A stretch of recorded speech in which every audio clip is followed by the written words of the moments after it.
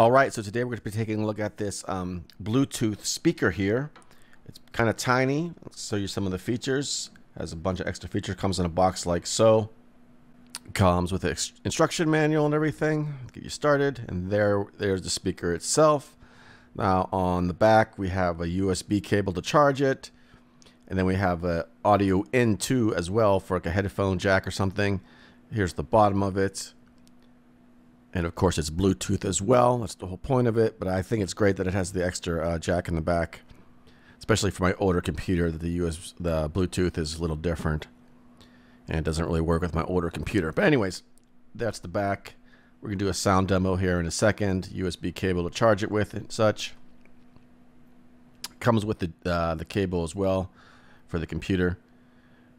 And let's take a look at what it sounds like. And now will be a good time to actually tell you about the song I'm about to play here. This is from uh, my other YouTube channel. I produce music, so check out that as well. The song's called Don't Worry About It. There'll be a link in the video description below. And there's also a link in the video description below for this as well from Amazon. Let's check it out.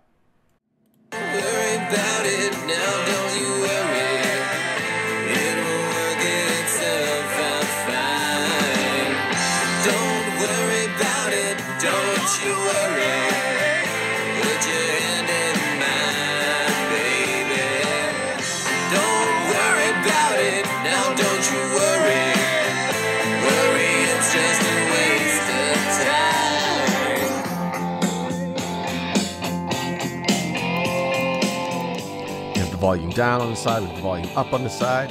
And these are also dual purpose switches here uh, for talkback and, and um, playing the next song and everything. It's pretty cool. So check one out. There's a link in the video description below, like I said.